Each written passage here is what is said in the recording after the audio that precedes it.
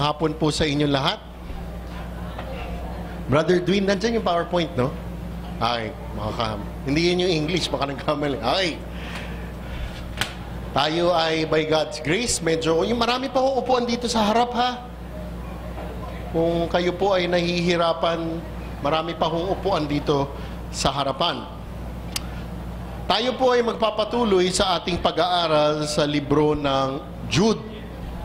At sa pagpapala at grasya ng Panginoong Diyos, tayo po ay magtatapos sa hapon na ito ating kukunin at ating pag-aaralan ang nalalabing dalawang talata, dalawang versikulo. Verse 24 at verse 25. Kung maaari po ba, kayo ay inaanyayahan kong tumayo? Basahin natin ang nalalabing dalawang talata sa libro ng Jude. Ako po ay bumabasa sa version ng magandang balita. Kaya kung ano po ang version ninyo, maaari po kayong sumunod sa pamamagitan ng nasa ating harapan. Jude verse 24 at verse 25. Sa Kanya na makakapag-ingat sa inyo upang hindi kayo magkasala at makakapagharap sa inyo ng walang kapintasan at may malaking kagalapan sa Kanyang kaluwalhatian sa iisang Diyos na ating tagapagligtas sa pamamagitan ni Heso Kristo na Panginoon natin sa Kanya ang kapurihan, karangalan, kaluwalhatian at kapangyarihan mula pa noong una, ngayon at magpakailanman. Amen. Tayo po ay magdasal. Panginoong Diyos, pinupuri ka namin dahil Tunay kayo ang nag-iingat sa amin. Pinupuri ka namin dahil kayo po ang may alam ng lahat at kayo ang may hawak ng lahat. Maraming salamat muli, Panginoon, sa pagkakataon na kami ay makapagtipon, kami ay makapagsamba. Ang aming dasal, Panginoon, na sa aming pag-aaral sa hapon na ito, ito'y maging malinaw sa amin. Buksan ninyo ang aming mata, puso at isipan na amin pong itong maintindihan, na amin po itong maisabuhay at sa inyong pagpapala, amin pong maibahagi ito ng tapat. Aming dasal, Panginoon, at aking dasal sa ngayon na ako'y maging tapat lamang sa iyong banal na salita. Ang lahat ng ito ay dinarasal namin sa ngalan ng inyong anak, Panginoong Jesus. Amen. Magsiupo po tayong lahat. Atin pong pinamagatan ang pag-aaral sa hapon na ito na seguridad at kaluwalhatian ng Panginoong Diyos. Tama ba? Okay. Nagpalit kasi ako ng title kahapon. Seguridad at kaluwalhatian ng Panginoong Diyos. Hahatiin po natin sa dalawang bahagi. Ang pag-aaral natin na unang bahagi, ang verse 24, seguridad ng Panginoong Diyos. At ang ikalawang bahagi, ang kaluwalhatian ng Panginoong Diyos, ang verse 25. Umpisahan na po natin ang ating pag-aaral. Mga kapatid, tayo ay dumating na po sa punto ng nahuhuling dalawang versikulo ng libro ng Jude. Kung talagang sasabihin ko po sa inyo mga kapatid, hindi ko inakala bago ko pag-aralan ito ng ganito katindi, ganito kalalim, na ang 25 versikulo ay magkakaroon ng sobrang tindi ng epekto sa akin. No? Kasi nung una, nung dati, nung pinab- nabasa ko na ito noon, Ngunit nung pinag-aralan natin ito, nung pinasahan natin ito ng buwan ng Mayo, sabi ko, 25 verses. Na 25 verses, ano kaya ang ituturo sa atin dito? Kasi ho, yung Mateo natin, 28 kabanata. At kinuha po natin yan ng mga 3 and a half years. And sobrang tindi ng epekto sa akin ng 28 kabanata na iyon. Nung ating inumpisahan to, 25 verses, sabi ko, ano kaya ang katotohanan at matinding turo ang makikita natin dito? Alam po ninyo mga kapatid, itong mga nakaraang linggo, ang bawat bersikulo, ang bawat salita sa libro na ito, sa sulat na ito, ay ihinanda po ako ng matindi kung paano po magagamit ito. Naisabuhay ko po ito sa pagpapala ng Diyos kung paano ito malalaman at maisasabuhay at maibabahagi sa ibang tao. Ramdam na ramdam ko ang turo at katotohanan dito. Ika nga nila, I can really feel it. Di ba? Mga kapatid, sa pagpapala ng Panginoong Diyos, ang pag-aaral talaga ng salita ng Diyos ng ganito ay malaking bagay ang magiging tulong at epekto sa atin. Hindi ko po nalalaman kung ano po ang naging epekto nito sa inyo. Hindi ko nalalaman kung ano kaya ang natutunan nyo sa libro na ito.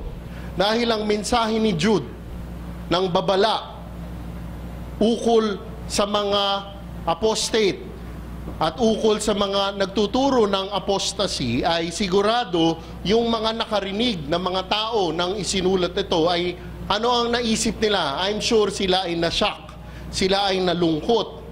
Marahil ang iba sa kanila ay nawalan ng loob nang nabasa nila ito, nang narinig nila ito. At dahil yan ang mga naisip nila na ramdaman nila, malaki ang posibilidad na ganyan din ang magiging reaksyon natin, ganyan din ang magiging pag-iisip natin. Dahil bakit po ganito? Sa sobrang tindi at dami ng mga nagtuturo ng maling katuruan, sa sobrang dami ng mga false teacher sa ating kapaligiran, iisipin natin, paano kaya yung mga tao na nasa ilalim nito? Paano kaya yung mga tao na natuturuan ng mga maling katuruan na ganito at ito pa? Marahil ang iisipin natin, ano kaya ang mangyayari sa atin na nakalagay sa utos na nakalagay sa verse 3? Ano yung sinabi doon? Sa English, English to contend earnestly for the faith. Sa Tagalog, sa atin manindigan tayo sa pananampalataya na ipinagkaloob sa atin. Hindi ko alam kung ano ang naiisip nyo ngayon at itong mga nakaraang linggo na ang inuutos sa atin na manindigan tayo sa pananampalatayang ipinagkaloob sa atin. Matapos nating matutunan kung ano ang iba't ibang katotohanan ukol sa mga apostate at ukol sa apostasy. Hindi ko alam kung ano ang naisip ninyo, ano naramdaman ninyo. At kung nag-aalala kayo, at kung napapaisip kayo, itong dalawang talata na pag-aaralan natin, verse 24 at 25, ay sasagot sa mga ating mga pag-aalala. Verse 24, Sa Kanya na makakapag-ingat sa inyo upang hindi kayo magkasala at makakapagharap sa inyo ng walang kapintasan at may malaking kagalakan sa kanyang kaluwalhatian. Pag-aralan po natin ang versikulo o talata na ito. Mga kapatid, ang huling dalawang talata na ito ay tinatawag ng mga scholar ng Biblia sa English na doxology. Okay? Hinanap ko kung ano ang doxology sa Tagalog. Alam nyo? Hindi dahil matalino ako. Thank you Lord sa Google. No? Ewan ko kung tama ito, yung magagaling sa Tagalog. Nilabas ng Google, doxolohiya. Tama kaya? Okay, doxolohiya. No? Doxolohiya o doxology. Ano ang doxology? Pag hinati nyo sa Greco yan, ang hati ng salita na ito, doxos, ang ibig sabihin niyan ay papuri at logos, ang ibig sabihin niyan salita. Kaya ang doxology, doxolohiya, ay mga salita ng papuri, praise words, words of praise. Yan ang ibig sabihin ng doxology. Alam po ninyo, ang salita ng Diyos ay punong-puno ng tinatawag na doxolohiya, doxology. Pag diningnan nyo ang libro ng awit, punong-puno ito ng doxolohiya. Pag binuksan ninyo ang libro ng Lucas sa Kabanata 2, makikita nyo ang mga anghel ng Panginoong Diyos ay kumanta ng isang doxology sa kapanganakan ng Panginoong Jesus. Ang bagong tipan ay punong-puno ng mga doxology. At pag tiningnan ninyo ang bagong tipan, pag nakakita kayo ng doxology, madalas ang sinasabi ng doxolohiya o doxology sa bagong tipan ay ukol sa ating kaligtasan. More often than not, sa New Testament, ang doxology ay ukol sa ating kaligtasan. Ito po ang isang halimbawa ng doxology na makikita nyo sa bagong tipan. Sa unang Timoteo 3, babasahin ko muna yung talata 13. Ano ang sinabi dito? Sino sumulat ng Timoteo? Si Pablo para kay Timoteo. Sabi ni Pablo para kay Timoteo, talata 13. Kahit na noong unay nilapastangan, inusig at nilait ko siya. Sino nagsasalita? Si Pablo. Sa kabila nito'y nahabag sa akin ang Diyos sapagkat hindi ko nalalaman ang aking ginagawa noong ako'y hindi pa sumasampalataya. Ano sinasabi ni Pablo sa unang Timoteo, Kabanata 1, talata 3, ano sinasabi niya? Kahit na ganoon kasama siya, ano ang ginawa ng Panginoon? Makikita niyo sa verse 16 at 17. Sabi ni Pablo, Ngunit, akong pinakamasama ay kinahabagan upang ipakita ni Kristo Jesus ang kanyang di masukat na pag-ibig sa akin at upang ito'y maging halimbawa sa mga sasampalataya at bibigyan ng buhay na walang hanggan. Verse 17, Purihin natin at luwalhatiin magpakailanman ang iisang Diyos. Haring walang hanggan, walang kamatayan at di nakikita.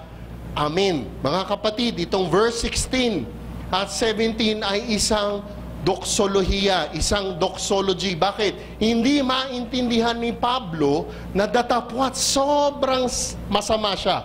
Di ba? Sabi niya, he, siya ang puno, siya ang chief of sinners. Ngunit ano nangyari? Tinanggap at binigay sa kanya ang grasya at pagpapala ng kaligtasan. Kung papansinin po ninyo, ang sinabi ng doxology na ito ay isang tugon ni Pablo bilang pagligtas sa kanya ng Panginoong Diyos.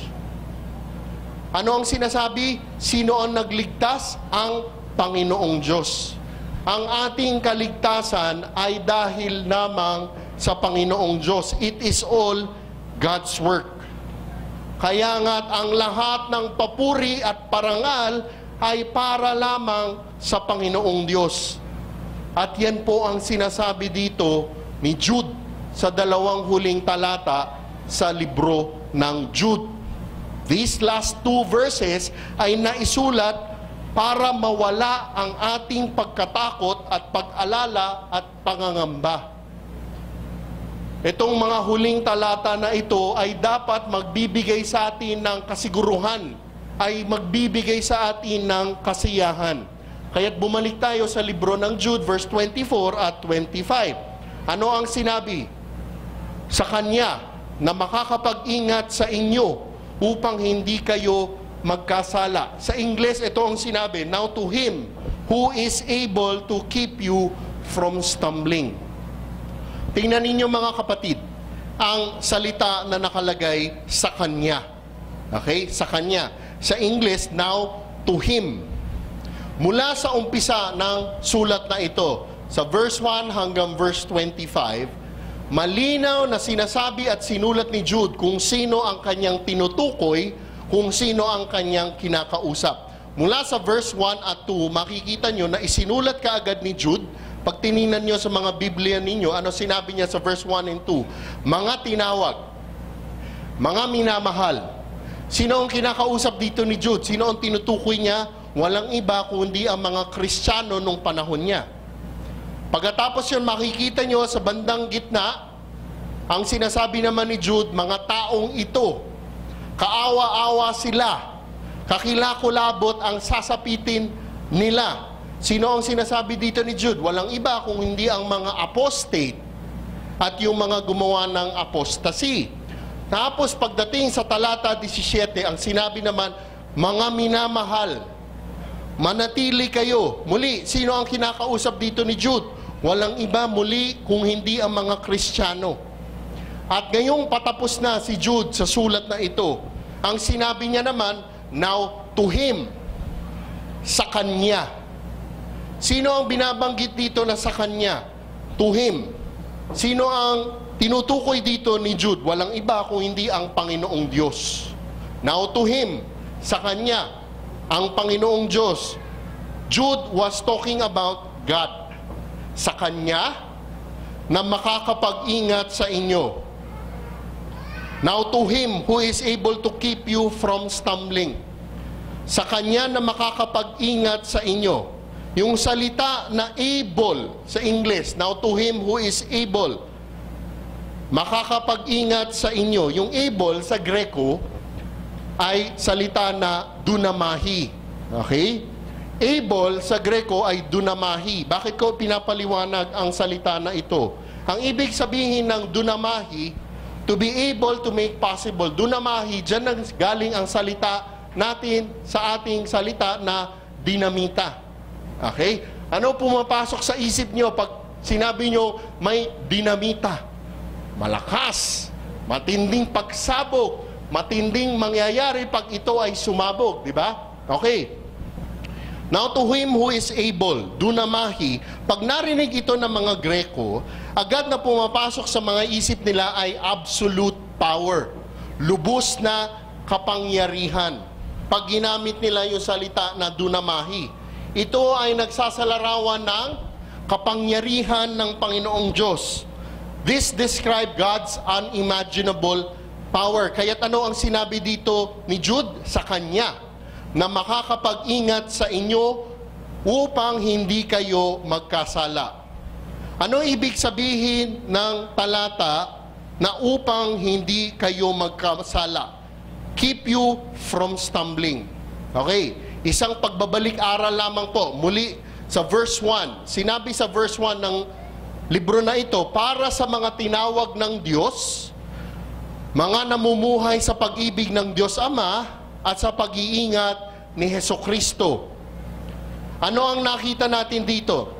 Hindi lang tayo tinawag ng Diyos, hindi lang tayo pinili ng Diyos, ngunit ang sinasabi rin sa verse 1 na mismo ang Panginoong Diyos ang ano, ang nag-iingat sa atin. Pag tiningnan nyo yung verse 1 ng libro ng Jude, ang sinasabi mismo sa verse 1, na ang Diyos na pumili sa atin, na ang Diyos na tumawag sa atin, ang mismo ang Diyos na nag-iingat sa atin. Ngayon, pagdating naman sa talata 24, binigay ni Jude ang iba pang detalye kung paano niya tayo pinagkakaingatan.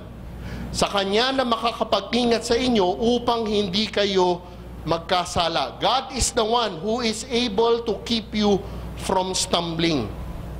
Hindi lang Diyos ang nag-iingat sa atin, ngunit mismo ang Panginoong Diyos ang tumutulong sa atin na hindi tayo malaglag sa tukso ng apostasy.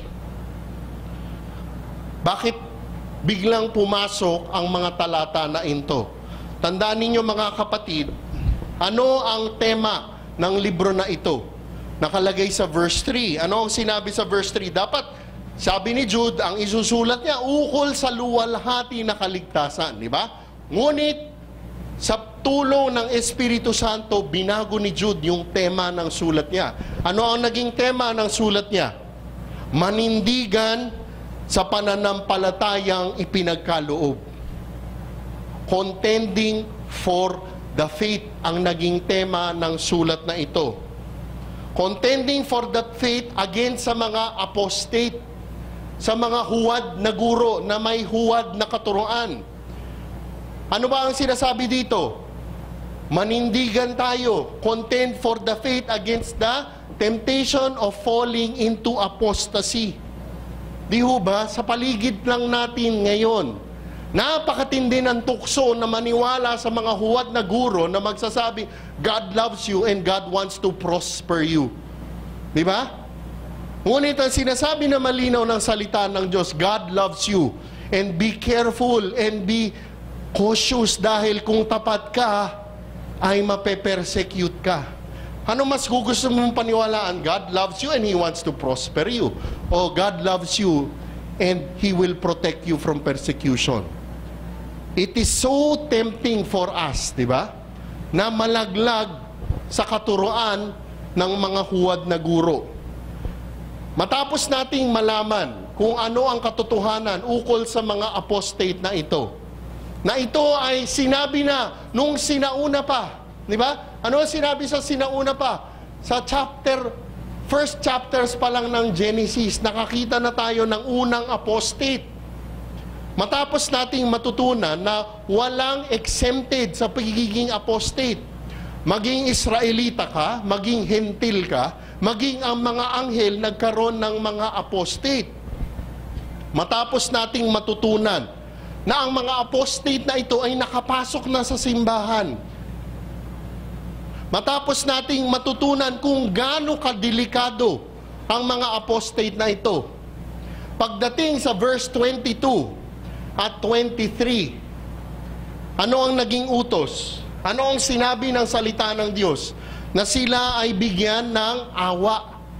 We are to extend grace and mercy to them. Di ba? Ito yung pinaturo sa atin, tinuro ni Pastor EJ. Kung tutuusin, dapat pangatlong linggo ang turo ni Pastor EJ dito. Tama po ba? Kasi I'm sure nagulat kayo. No? Parang iba yata itsura ni Pastor EJ sa hapon na ito. No? Kasi yung ituturo ni Pastor EJ, pwede niyang ituro ng hiwalay. Tinapos niya na talaga yung verse 22 at 23. Ano ang naging utos? Ang naging utos ay bigyan sila ng awa. Mga kapatid, kasama sila sa ministry ng sharing the gospel.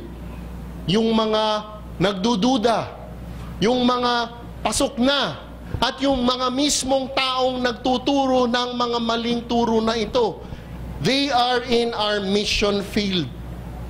Sa totoo lang, bago nung 22 at 23 na verse, di ba? Mula verse 1 hanggang verse 19, 20, 21, ang iniisip ko, wow, grabe, ang tindi ng mga apostate. Ang tindi ng mga huwad na guro. Di ba? Parang, eh, bakit ganun sila? Di ba? Tapos pagdating sa verse 22 at 23, sinabi, extend mercy and grace to them. Naisip ko, ha? Di ba yung pinaka, naiisip ko, sure? Di ba? Sa lingwahe natin ngayon, we? Di ba? Sabi, apostate na nga eh. Tumalikod sa katotohanan. Binigay mo katotohanan, tumalikod sa katotohanan. Tapos, kasama sila sa mga pupuntahan ako, sasabihan ko. Di ba? Para, wow! Shock ako doon eh, pagdating sa 22 at 23. Di ba? Lalo na ito. Di ba? Tatlong klase yon Yung mga nagdududa, yung mga pasok na, at ang pinakamatinding turo, yung mga nagtuturo, pati sila. Kaaawaan natin. Pero pag-iingatan natin dahil baka mabahiran tayo ng dumi nila. Isipin mo yon False teacher. Pag nakita ko, share ko gospel. Wow! Paano yun? Nakakatakot naman yun. Kaya pumasok ang verse 24 at 25. Nakuha nyo? Sa Kanya na makapag-iingat sa inyo upang hindi kayo magkasala. Ano sinasabi dito? Huwag kang mag-alala. God sustains you. God is the one keeping you. God is the one preserving you. It is God who will protect us by God's grace. Itong talata na ito is so comforting. Di ba? Parang talagang, wow! Grabe Lord talaga, ikaw ang mag-iingat. Pero sa likod ng isip ko, grabe, paano ko gagawin ito? Mga kapatid, kung ang kaligtasan natin, no, ay dahil sa mga nagawa natin at ginagawa natin, unang-una, hindi tayo maliligtas. Alam niyo yon? Itong verse na ito is so comforting. If our salvation is dependent on what we have done and what we are doing, guaranteed, hindi natin masisave ang sarili natin. Tama? Ito pa ikalawa. Kung ang ating kaligtasan ay dahil pa rin sa mga ginagawa natin at mga nagagawa natin, alam niyo yun, to keep our salvation. Kung dahil pa rin sa atin, ay tiyak, imposible mangyari yun. Kung tayo ay may kagagawan sa kaligtasan natin, it would be really impossible, imposible na kayang natin iligtas sa sarili natin. Imposible na pwede nating itago at kupkupin ang kaligtasan natin. Bakit natin nasabi ito? na hindi natin kayang pag-ingatan ang kaligtasan natin kung hindi dahil sa Panginoon Diyos. Tingnan niyo to. Kilala niyo si Adan, si Adam sa libro ng Genesis, di ba? Si Adam, wala siyang tinatawag sa English na sinful tendency. Si Adam, si Adan ay nakatira sa isang paraiso na perpekto. Tama? Si Adan ay walang ideya ukol sa kasalanan. Si Adan ay walang kasalanan. Ngunit ano ang nangyari kay Adan? Nalaglag sa kasalanan. Nakuha ninyo yun? Adam was living in a perfect world and yet fell into sin. Lalo na tayo. Paglabas mo pa lang, lahat ng tukso makikita mo na. Kahit nga nandito kayo eh, pag, huwag niyong bubuksan cellphone niyo. Pag tingnan mo pa lang, tukso na, magkakasala ka na. Kaya nga't mga kapatid, kung hindi talaga sa grasya at pagpapala ng Panginoong Diyos, hindi tayo maliligtas at hindi natin kayang pangalagaan ang ating kaligtasan. Kaya nga, ang doktrina na ito, mga kapatid, tinatawag na doktrina ng eternal na kaligtasan. Ano ang doktrina na ito? Doctrine of eternal security. Eternal na kaligtasan. Yun ang doktrina na ito. Sa English na sinasabi, baka narinig nyo na, once you're saved, you're saved. Kung ligtas ka na, eternal ka ng ligtas. Yan ang katuruan na yan. If you have received eternal life, you will never lose it. Napakaraming mga huwad na guguro na magtuturo na nawawala ang kaligtasan mo. Alam mo mga kapatid, kung nawawala ang kaligtasan, malaki ang posibilidad hindi ka ligtas. Kasi may gan- ganun eh, nakuha niyo yun? Linggo-linggo, nagpapatanggap. Tanggapin mo kasi nawala ang kaligtasan mo. Hindi ho tama ang turo na iyon. Itong doktrina na ito ang tinatawag ay ang doktrina ng eternal na kaligtasan. At alam po ninyo, ang eternal na kaligtasan natin ay hindi dahil sa atin. Ito ay dahil lamang sa Panginoong Diyos. God Himself protects us. God Himself is the one able to keep us from stumbling. Siya ang nag-iingat sa atin na hindi tayo malaglag. Yun ang sinasabi ng talata na ito. Datapwat ganun kadelikado ang mga apostate na ito. Di ba? Iisipin mo, wow talaga, paano ko gagawin ito? Ang hirap naman, Lord, ng utos mo. Ano sinasabi ng verse 24? Do not worry. I am able. I am dunamahi. I am dynamite. I am so powerful. I will protect you, preserve you. Yun ang sinasabi ng turo na ito. Ano pa ang sinabi ni Jude? Sa kanya na makapag-iingat sa inyo upang hindi kayo magkasala at makakapagharap sa inyo ng walang kapintasan. God does not only keep you from stumbling, ngunit ang Panginoong Jesus mismo ang dahilan kung bakit tayo makakaharap sa Kanya. Sa English, Now to Him who is able to keep you from stumbling and to make you stand in the presence of His glory. Not only siya ang nagpo-protect sa ating mag-stumble, siya rin ang nagpapatayo sa atin. Alam po ninyo, ang kaagad na dapat tatanungin natin dito, paano tayo makakatayo sa harap o presensya ng Diyos? Noong isang araw, papunta kami sa eskwelahan ng anak ko. Biglang nagsalita yung anak ko, Daddy, alam mo, noong isang araw, may nakita kami sa telebisyon. Cartoons. Ano naman? Okay naman yung cartoons na yon. Sabi doon sa te- television, Daddy, that God, ay, that Abraham saw God. Di ba, Daddy, mali yun? Because Abraham did not see God, Abraham heard God. Kasi if Abraham saw God, sabi rin sa Genesis, di ba, Daddy, mamamatay siya? Tama, di ba? Nagtingin na kami ng misis ko eh. Napakaliit. Na pag, alam mo yon pag ano, totoo naman eh. Kasi alam niyo mga kapatid, Dahil ang Diyos ay banal, banal, banal, at tayo ay makasalanan, makasalanan, makasalanan, makasalanan, makasalanan. Dahil ganun tayo, we could never be in the presence of God. We will immediately die. Nasa Biblia yan. Ano nangyari kay Moses nung gusto niya makita ang Panginoong Diyos? Di ba? Sa grasya at pagpapala ng Diyos, sige. Pero ano ginawa ni Lord? Tinago niya si Moses sa gitna ng pagitan ng isang bundok.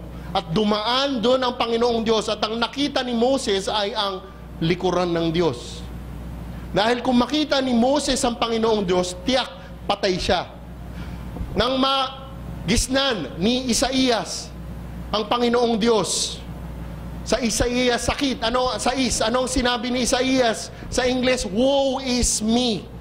Sa Tagalog, patay akong bata ako. Hindi, hindi ganun yun ha. Woe is me, for I am a man of unclean lips. Sino pa makikita nyo sa Biblia pag tinignan nyo si Ezekiel sa Kabanata 8, 28 na talata. Nang makita ni Ezekiel ang Panginoong Diyos, anong niya? Siya ay nalaglag sa kanyang mukha dahil nakita niya ang kabanalan ng Panginoong Diyos. Si Pedro, si Santiago at si Juan sa, uh, sa Mount of Transfiguration, Narinig nila ang Panginoong Diyos. Ano nangyari sa kanila? Nalaglag sila sa mga mukha nila. Pag tinignan niyo si Juan sa libro ng Pahayag, Pahayag 1:17, nang makita ni Juan ang Panginoong Diyos, nalaglag siya na parang patay. Kaya nga katakataka mga kapatid, na may maririnig tayong mga kwento sa panahon natin ngayon na nakikita nila ang Diyos, kinakausap nila ang Panginoong Diyos na wala nangyayari sa kanila. Parang ang kausap lang nila ay, ano ba yun? Yung best friend, no? Nakakatuwa nga, nang minsan may nagkwento na nakita niya ang Panginoong Diyos, ang isang nagtanong kaagad, so ano sinabi sa kanya? Pansinin ninyo, yung mga nakakakita sa Panginoong Diyos, kung ano-ano ang pinag-uusapan pero wala ang gospel. Hindi ba kung ang Panginoong Diyos, kung, kung, kung mangyayari, magpapakita sa isang tao, ang unang sasabihin niya ay ang ano, magandang balita. Nakuha ninyo, we could never be in the presence of a holy, holy, holy God. Dahil ang Diyos ay banal, banal, banal, tayo ay makasalanan sa presensya niya, tiyak, patay tayo. Ngunit sa talata na ito, ang sinasabi sa Kanya na makakapag-ingat sa inyo upang hindi kayo magkasala, at makakapagharap sa inyo ng walang kapintasan na may malaking kagalakan. Paano tayo makakatayo? Paano tayo magiging pwede na maging nasa presensya niya? Ano sinabi niya? Dahil tayo ay wala ng kapintasan. We are blameless in God's eyes. Paano nangyari yon? Na blameless na tayo, wala ng kapintasan sa harap niya. Mga kapatid, sa ating pagtanggap ng kaligtasan. Anong ginagawa ng Panginoong Diyos? Yung katuwiran ng Panginoong Heso Kristo ay isinusuot niya sa iyo. Ang tawag doon sa English, imputation of Christ's righteousness. Sa mata ng Diyos, ang isang tunay na Kristiyano ay matuwid na. Okay? Sa mata ng Panginoong Diyos, hindi niya na nakikita ang pagiging makasalanan mo, ang nakikita niya na ang katuwiran ng Panginoong Heso Kristo. Sa English, positionally, blameless na tayo. Pero physically, we still sin. But in God's eyes, we are already blameless. Suot-suot na natin ang katuwiran ng Panginoong Heso Kristo. At yaan po ang dahilan kung bakit ang isang Kristiyano ay makakatayo sa presensya ng Panginoong Diyos nang walang kapintasan. At ano pa ang sinabi? Walang kapintasan at may malaking kagalakan sa kanyang kaluwalhatian. Ano yung sinasabi diyang kagalakan? Di ba? Blameless with great joy. Sa English yan eh. Ano yung kagalakan na iyon? Ang kagalakan na yun ay kagalakan ng Panginoong Heso Kristo at kagalakan ng isang Kristiyano. Ipaliwanag ko po mabuti ito. Tingnan niyo sa Hebreo 12, talata 1 hanggang 2. Kaya nga, dahil napapaligiran tayo ng napakaraming saksi, talikuran natin ang ating kasalanan at ang anumang balakid na pumipigil sa atin. Buong tiyaga tayong tumakbo sa paligsahang ating sinalihan. Verse 2, Ituon natin ang ating paningin kay Jesus, na siyang pinagmumulan at kabuuan ng ating pananampalataya.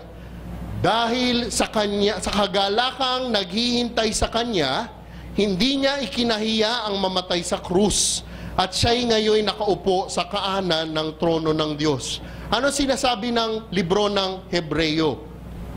Ang Panginoong Hesus ay nagpursige.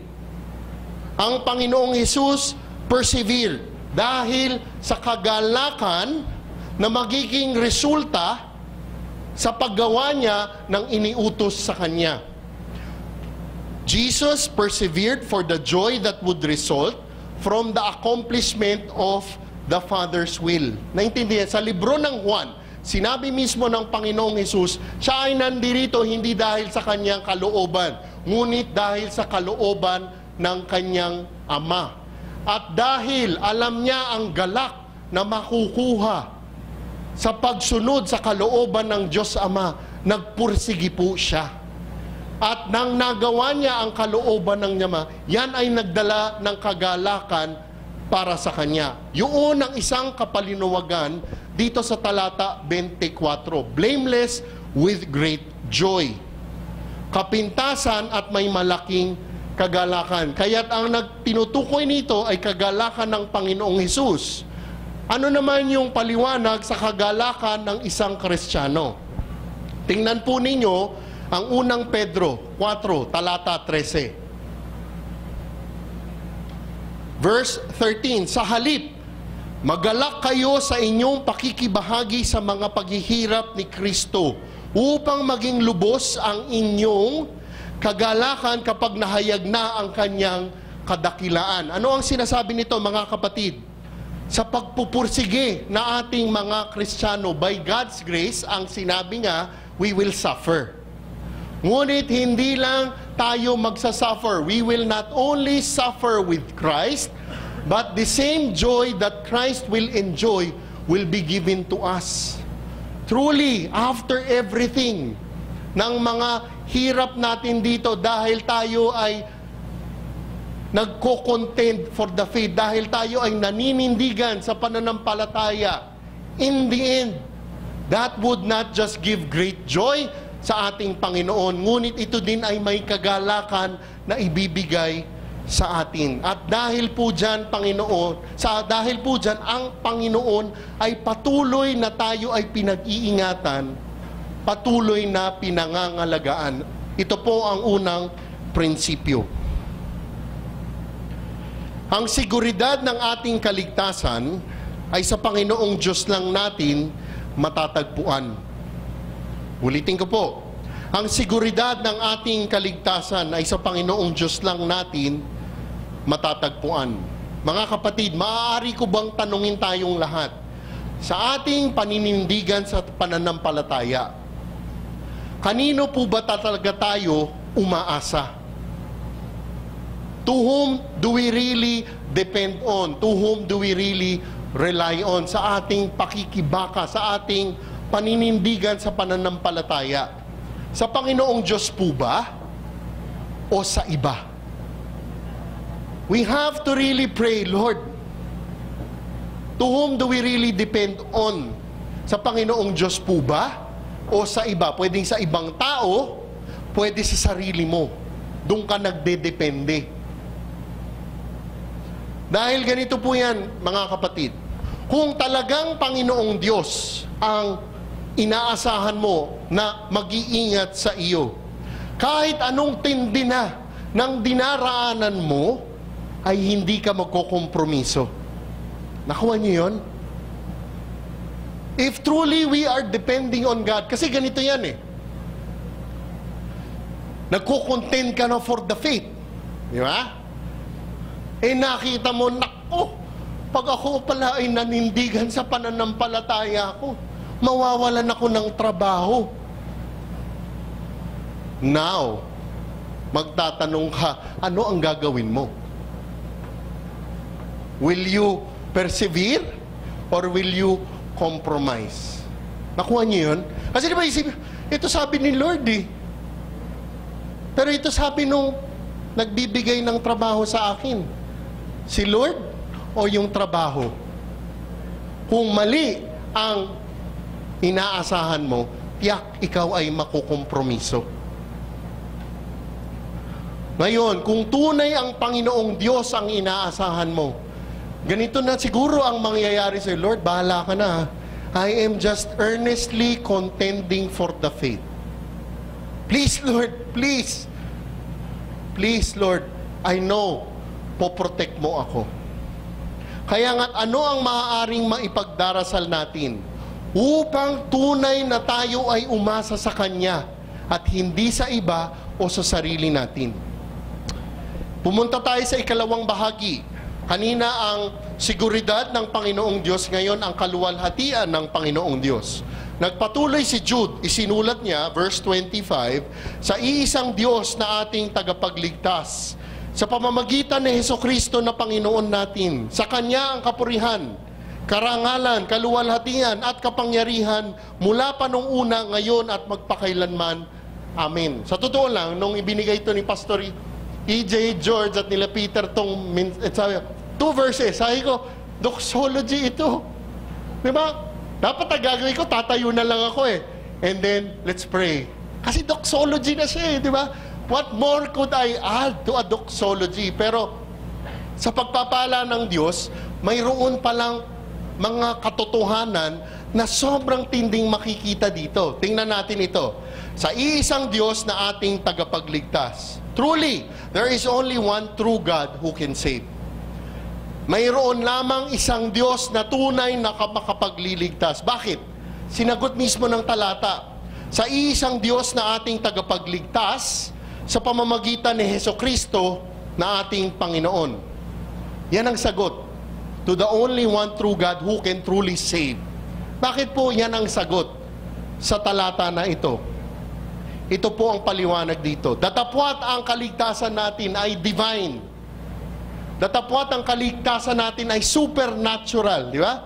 Divine and supernatural. Pero alam nyo ba, yung huling, yung buong proseso na iyan ay sobrang rational at logical. Rational at logical, sobrang, alam niyo yan, you could understand it by the enabling of the Holy Spirit. Rational at logical. Hindi siya yung parang yung mga ibang nagtuturo na magtuturo, tapos pag hiningi mo ang paliwanag, basta paniwalaan mo na lang. No.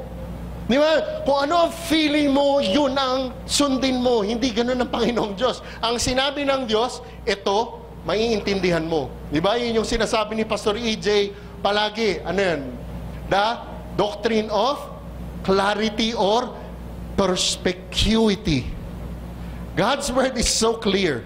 Hindi sinasabing madali lang intindihin na pag binasa mo parang storybook ng bata. Hindi ganon. It is clear, it could be understood. Ang kaligtasan natin ay logical at rational. Ipaliwanag ko po sa inyo. Ang Panginoong Diyos ay banal, banal, banal. Tayo ay makasalanan, makasalanan, makasalanan. Dahil ang Diyos ay banal, banal, banal. Ang sinabi niya sa Roma 6:23, For the wages of sin is death. Ang kabayaran sa kasalanan ay kamatayan. Kung tayo ay magkakasala, ano ang sinabi niya? Mamamatay tayo. Yan ang kaparusahan, yan ang kabayaran sa kasalanan. Ang tanong, siguradong sasabihin natin ng mga tao, ilang kasalanan para ako ay magbayad ng kamatayan? Isa, dalawa, tatlo, sampu, isandaan, isang libo. Ilan? Sinabi mismo ng Santiago, dos, na kung nagkasala ka sa isa, ay lahat ng kasala nagawa mo na. Because of one sin, God will already punish us of death. Bakit siguro sasabihin ng iba, Brother Rico, imposible na yan. Isa lang eh. O sige, sige. Kung ganun man, dito kaya sa kwarto na to, ilang kasalanan na kaya nagawa natin mula nung 3 o'clock Hindi ko alam. Ngunit kahit isang kasalanan lang ang kabayaran kamatayan, dahil ganito po yan, ang Diyos ay banal. Hindi siya maaaring mabahiran ng kahit na isang butil ng dumi. God is holy. He will never tolerate sin. Ito ang ilustrasyon at pagsasalarawan dyan. Kumuha ako ng tubig sa water dispenser.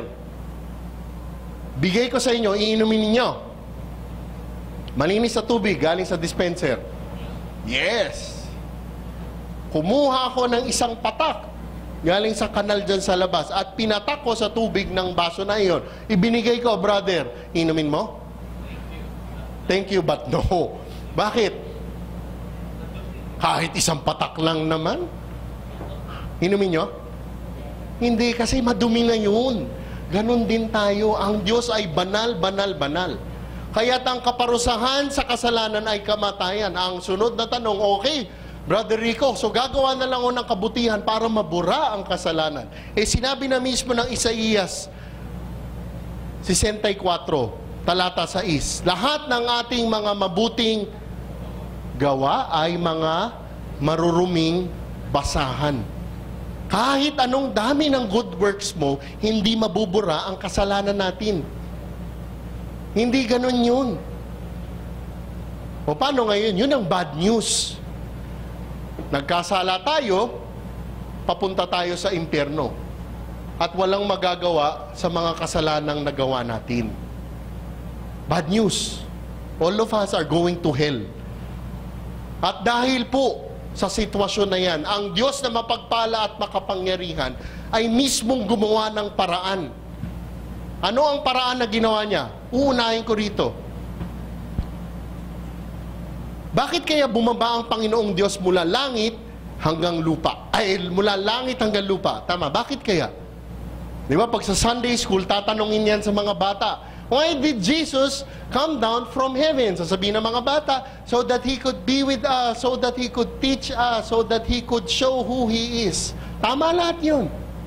Pero ito ang pinaka-importanting katotohanan. Why did Jesus from heaven become man?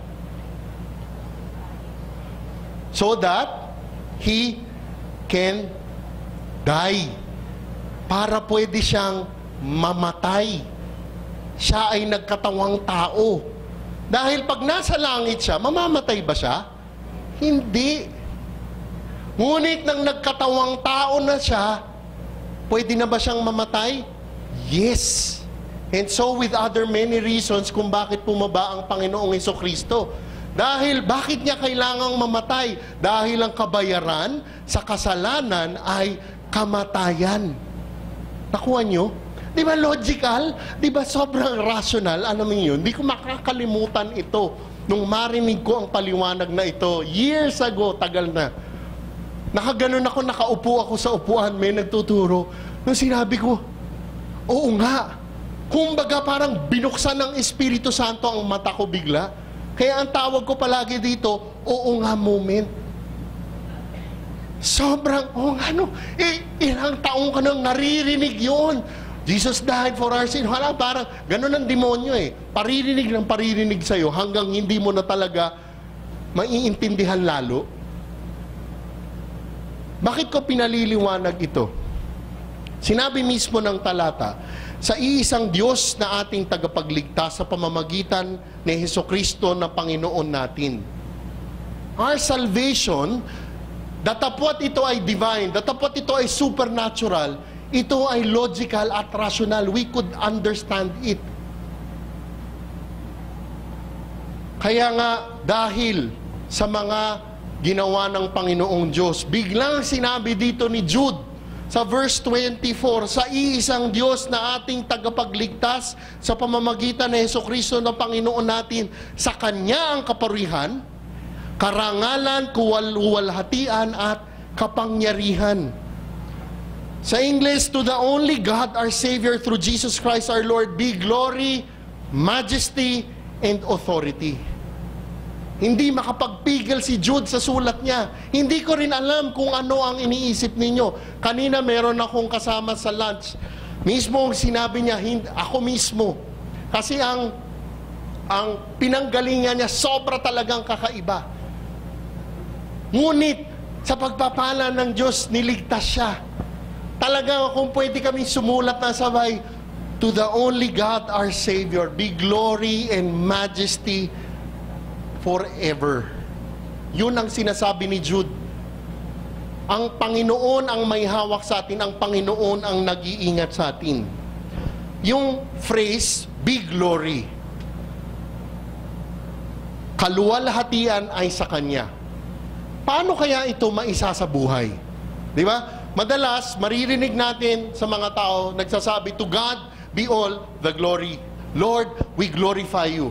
Ang tanong, paano kaya ito maisa sa buhay? Maa-apply buhay, ang tawag ng iba dyan. How can this be done by us Christians? Pag binasa ninyo ang lumang tipan, ang salitang glory o ang luwalhati sa lumang tipan, ito ay palaging nagtuturo ng katotohanan ng katangian ng Panginoong Diyos. Sa Old Testament, it would always describe God's character, unimaginable character. Sa bagong tipan, yung salita na luwalhati, yung salita na glory, would always convey ng meaning ng praise, worship, dignity, and honor. Sa Old Testament, yung katangian ng Panginoong Diyos. Sa New Testament, palaging sinasabi yung praise, honor, dignity, and worship sa Lord. Kaya pag pinagsama mo ang dalawa na iyon, ang word na glory o luwalhati ay may pagkaibig sabihin na we recognize who God is. And because who He is, we praise and worship Him. Kinikilala natin kung sino talaga ang Panginoong Diyos. At dahil kung sino ang Panginoong Diyos, ano ang dapat natin gawin? Tayo ay magpuri at magsamba sa Kanya. Siguro sabihin nyo, Brother Rico, so ano yung, pa- paano pa rin natin? How can we glorify God? Di ba? How can it be done and applied? Tingnan niyo sa libro ng unang mga kronika. Chapter 16, verse 28 up to 29. First Chronicles 16, 28 to 29. Ito ang sagot, how we can glorify God. Si Yahweh ay purihin ng lahat ng mga bansa. Dapat siyang kilalanin na marangal at dakila. Kilalanin ng lahat malulhati niyang pangalan. Bawat isa'y lumapit at siya ay handugan. Sambahin si Yahweh sa diwa ng kabanalan. Ano po ang sinasabi sa mga talata na ito kung paano natin mabibigyang puri at parangal ang Panginoong Diyos? Konteksto ng mga talata na ito, ito po. Yung Ark of the Covenant. Okay? 'Di ba nung lumang tipan, merong tinatawag na Ark of the Covenant, yung sisidlan, yung lalagyan, 'di ba? Yung Ark of the Covenant nalagay na ni David sa isang tolda na itinayo niya. Kasi nung panahon na itong sinulat, wala pang temple, meron lang tabernacle. So ang ginawa dito ni David nang nailagay na sa loob yung Ark of the Covenant, si David ay sumulat ng parangal at papuri sa Panginoong Diyos. At ang sinulat niya, ang sinabi niya sa mga Israelita kung ano ang ginawa ng Panginoong Diyos para sa kanila. Kaya dito nagkaroon ng sulat na ito. 1 Chronicles 16 verse 1 onwards. Now, sa mga talata na ito, makikita natin ang dalawang aksyon, ang dalawang gawa kung paano natin mag-glorify si God. How can we glorify God? Una, ano ang sinabi? Ang sinabi mismo, dapat siyang kilalanin na marangal at dakila. Ano yan? Sa English nga yan, they were to ascribe. Give glory to Him because it is due Him. Ano ibig sabihin niyan? To glorify God is to believe, recognize, and accept who God really is. Kailangan nating kilalanin ang mga tunay na katangian niya. Ano ba ang mga katangian niya? Siya ay banal. Siya ay tapat. Siya ay maawin. Siya ay mapagpala. Siya ay mapagmahal. Siya ay nagpaparusa. Siya ay mayroong majesty. Siya ay may kapangyarihan sa lahat. Siya ay may kapangyarihan. Alam niya ang lahat. All of God's attributes, we must believe and accept. We are to recognize who God really is. Yun ang sinasabi dito sa unang Chronicle chapter 16. Kung ano talaga siya, dapat nating kilalanin at tanggapin sa paniniwala natin. Ang problema kasi, minsan ng mga tao, madalas gusto lang sabihin, oh, God is love. God is merciful. God is gracious. But we do not believe that God will punish. Alam nyo, pag ginagawa natin yon, binabago natin ang katotohanan ng Panginoong Diyos. Then, we are not glorifying Him. Yun ang sinasabi rito na para ating mabigyang puri, luwalhati ang Panginoong Diyos, kung sino siya, dapat nating tanggapin, paniwalaan, at ipakilala sa ibang tao. Kumbaga, palagi mong iniisip, God is a God who is merciful, gracious, God is a God of wrath. Pag ginawa mo na binago mo ang isa na yun, we are not glorifying Him. Yun ang una na dapat nating gawin. Tingnan niyo yung ikalawa. Mula rin sa unang kronika. Nandiyan pa ba? Nakasulat. Okay, makaturo ako ng turo. Si Brother Butch na picture na pala nandun, no? Okay. Kilalahanin ng maluwalhati niyang pangalan, ito yung ikalawa. Bawat isa ay lumapit at siya ay handugan. Sa English, we are to bring our offering before Him. They were told to bring their offering to the Lord. Nung panahon na isinulat ito, nagbigay ng malinaw na utos ang Panginoong Diyos kung ano ang mga iaalay nila, ano ang mga ibibigay nila. Nung isinulat ito, ang tanong, Brother Rico, ano yung mga iaalay natin sa Kanya? What is the offering that we bring to God today? Ano yun? Yeah? Marami ang magsasabi, ah, Brother Rico, yan siguro yung weekly giving natin sa simbahan. Yes, tama iyon. Pero mas malalim pa ang sinasabi ng Panginoong Diyos tungkol doon. Hindi lang yun yung weekly offering. Ano ang offering na sinasabi ng Panginoong Diyos? Tingnan nyo, sa libro ng Taga-Roma, chapter 12, verse 1 up to 2. Kaya nga mga kapatid, Alang-alang sa masaganang habag ng Diyos sa atin, ako'y nakikiusap na ialay ninyo ang inyong sarili bilang isang handog na buhay, banal at kalugod-lugod sa Diyos. Ito ang karapat-dapat na pagsamba ninyo sa Diyos. Talata 2. Huwag kayong makiayon sa takbo ng mundong ito. Mag-iba kayo sa pamamagitan ng pagbabago ng inyong pag-iisip upang maunawaan ninyo ang kalooban ng Diyos kung ano ang mabuti, kalugod-lugod at ganap na kalooban niya. Ano sinasabi ng mga talata na ito sa taga-Roma? Talata 12, ah, Kabanata 12, na dapat nating ialay sa Panginoong Diyos. Mga totoong Kristiyano ang iaalay nila ay mga buhay na alay ng sarili nila. They were to be the sacrifice, the live sacrifice. Tandaan ninyo, nung sinulat ito ni Pablo, ang isa sa mga kausap niya ay mga Hudyo. Nung sinabi ito ni Pablo, tiyak na intindihan kagad ito ng mga Hudyo. Kasi alam nila yung sacrifice ritual nila. Ang tanong, ano ito? Ano ibig sabihin nito, Brother Rico? Ang ibig sabihin ba nito, sasaktan natin ang sarili natin? Papatayin natin sarili natin? Yung ba ibig sabihin nito? Siyempre hindi. We do not hurt or kill our body. So ano yung living sacrifice na sinasabi dito ni Pablo? True Christians, by God's grace at sa tulong ng Panginoong Diyos, sacrificially die to our self kung totoong kristyano ka na, yung dati mong pagiging mga makasalanan mo, mamamatay ka na. Tatalikuran mo na. That is why Christians are to offer our very lives as a living sacrifice. Sa totoo lang, mga kapatid, nung naging kristyano tayo, di ba? By God's grace, yung mga dating mga gawain natin na sobrang na alam natin dati hindi kasalanan, pero ngayon alam mo ng kasalanan, iniiwasan mo na ba? Kasi ganito yun eh. Kung hindi natin iniiwasan ng mga yon, pray, baka hindi ka patunay na Christian. We are to offer our lives as a living sacrifice. At ito ay magagawa natin sa tulong ng Espiritu Santo.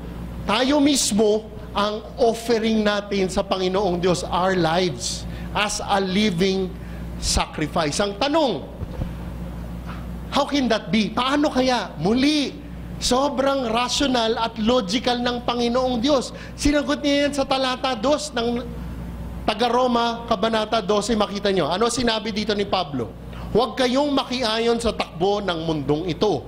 Mag-iba kayo sa pamamagitan ng pagbabago ng inyong pag-iisip upang maunawaan ninyo ang kalooban ng Diyos, kung ano ang mabuti, kalugod-lugod at ganap na kalooban niya. Sa English, do not be conformed to this world, but be transformed by the renewing of your mind. Ano ibig sabihin nito? Brother Rico, paano, ha, paano ako hindi makikiayon? Paano ko, ano ang dapat na gawin? Sinabi na mismo ni Pablo, Be transformed by the renewing of your mind sa pamamagitan ng pagbabago ng inyong pag-iisip. Ano ibig sabihin nito? Paano mababago ang ating pag-iisip, mga kapatid? Ano sa tingin ninyo?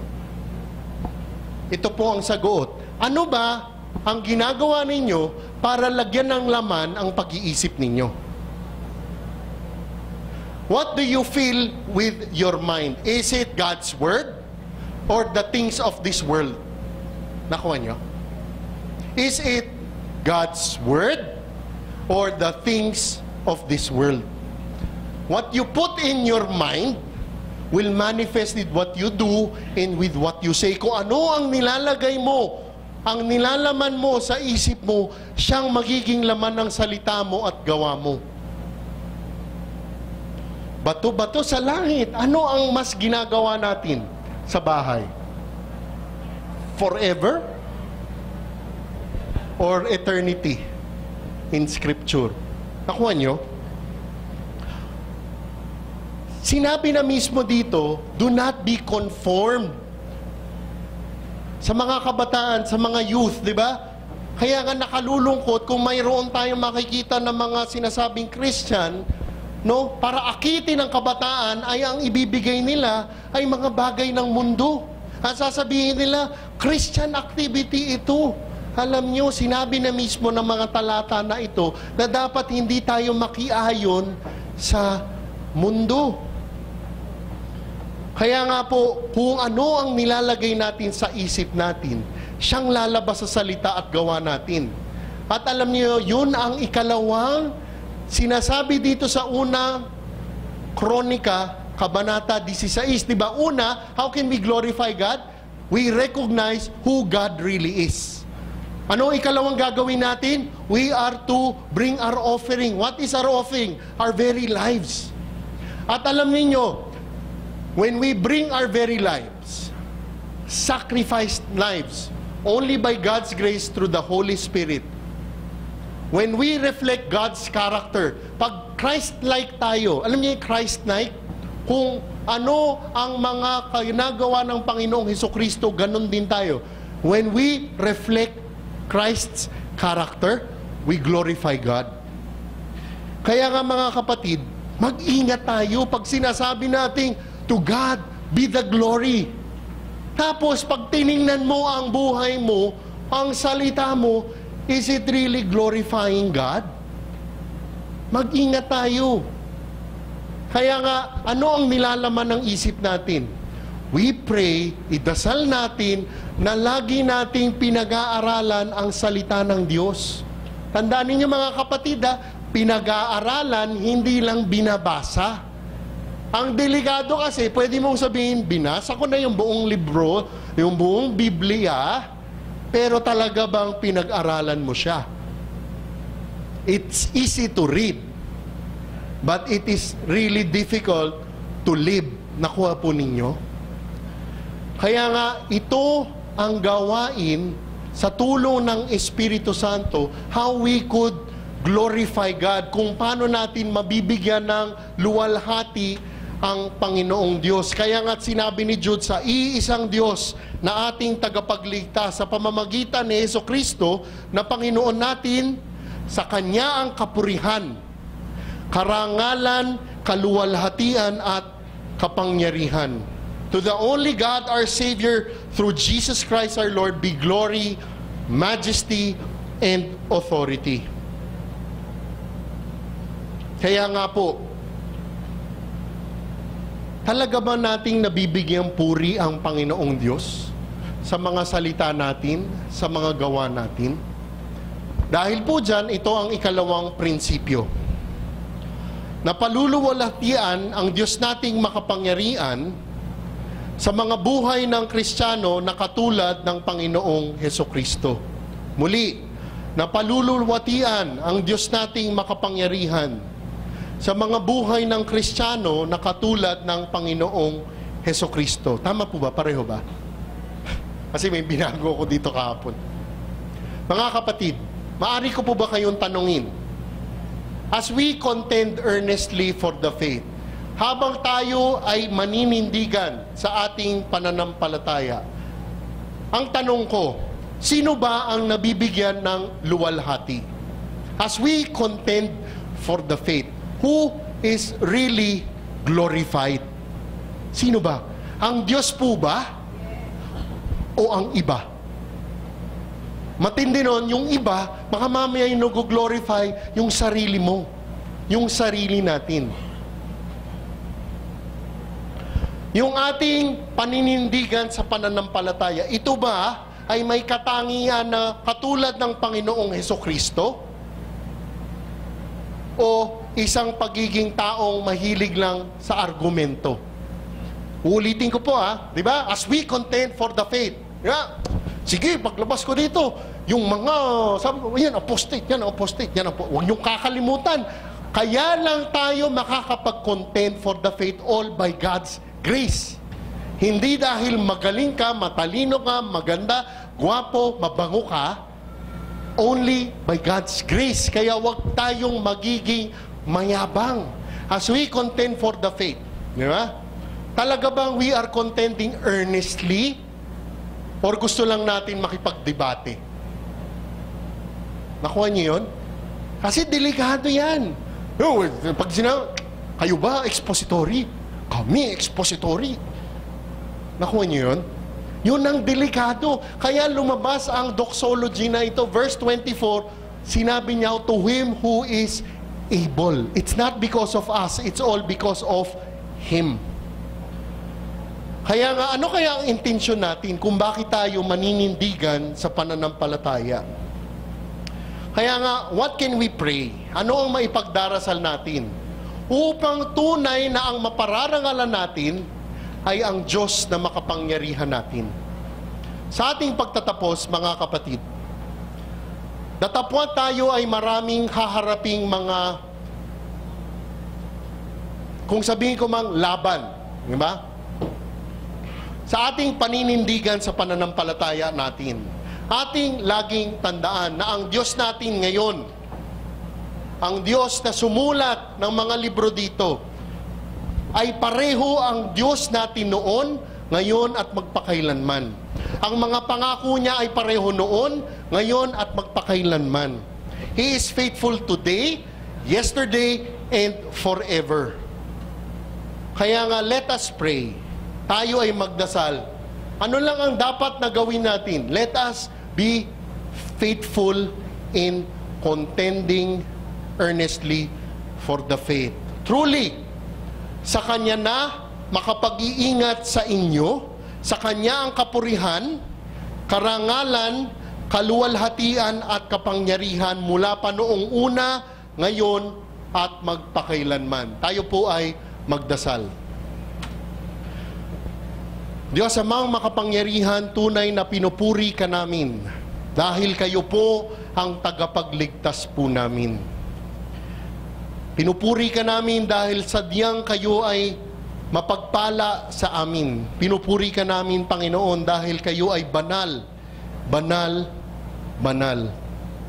Maraming salamat muli, Panginoon, sa pagkakataon na kami ay makapagsamba, kami ay makapagtipon dito upang mapag-aralan ng mainam ang banal na salita mo. Aming dasal, Panginoon, na sa aming paghayo sa lugar na ito mamaya, aming dasal na kami ay magdepende lamang sa iyo at hindi sa sarili namin at hindi sa, sa ibang tao. Aming dasal, Panginoon, na sa paglalakad namin sa buhay kristyano namin, sa paninindigan namin, sa pananampalatayang ipinagkaloob sa amin, na kami ay maging tapat lamang sa iyo at huwag naming kalimutan na hindi ito dahil sa amin, ngunit dahil lamang ito sa grasya at pagpapala mo.